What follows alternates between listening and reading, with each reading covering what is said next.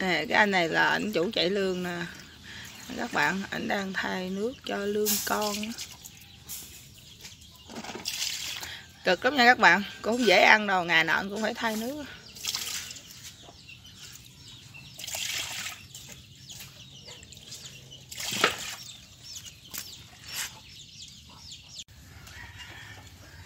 Ngày nào anh cũng phải thay nước vậy các bạn. Cực lắm. Rồi sau khi mà một ngày á, lương con nó ăn xong á, là các bạn coi nước nó đục vậy. rất là trong đây rất là nhiều nha.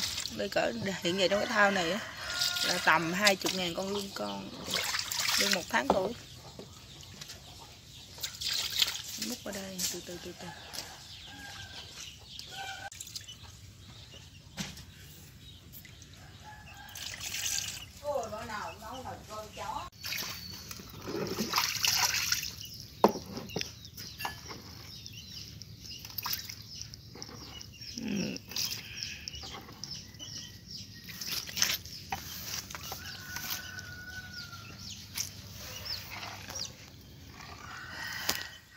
Bạn thấy không bao giờ thức ăn nó cũng còn lại hết.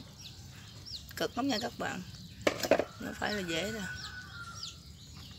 này là lương một tháng tuổi rồi đó. Đại lương mình là có lương con liên tục liên tục nha. Bạn nào mua thì ờ, dặn dặn thì ờ, cỡ nửa tháng là bắt đầu có đợt mới nữa rồi.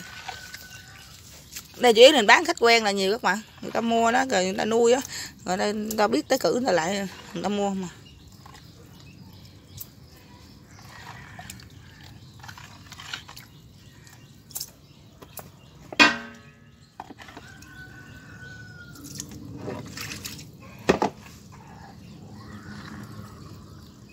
Là bắt nữa để cái cực lắm nhưng mà cũng còn bắt được.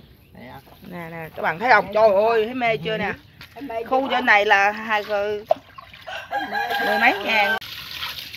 Chỗ này là mười mấy ngàn con tới gần hai chục ngàn con nha các bạn. Đương này mới một tháng tuổi à. Khi nó bự ra là số lượng rất là nhiều á. Rồi bạn nào cũng mua thì cứ nhắn tin mình nha. Cái chạy mình là chừng nửa tháng là có một đợt lương xích chuồng à. Hiện bây giờ lương này là một tháng tuổi